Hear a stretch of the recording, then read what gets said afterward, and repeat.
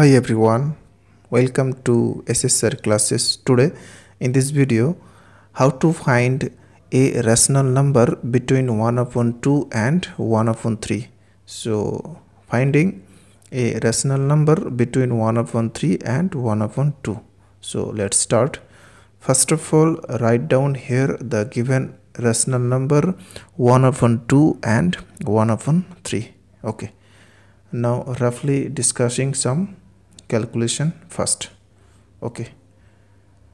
So first of all we have to find the LCM of 2 and 3 and the LCM of 2 and 3 equal to 2 into 3 so we should have to make the denominator of both 6 so what should be multiplying with both rational number to get the denominator 6 so if here by 3 so this is 3 by 6 and here 2 up and down. So this is 2 upon 6 okay. So now for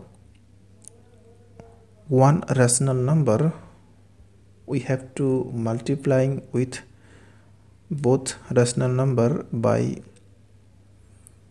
1 plus 1 equal to 2 so we have to multiplying this here. So 2 upon 2 and here 2 upon 2 so this is 6 upon 12 and this is 4 upon 12 so between 4 5 and 6 so we got one rational number 5 so the three rational number are 4 by 12 5 by 12 and 6 by 12 okay. So therefore the one rational number between 1 upon 3 and 1 upon 2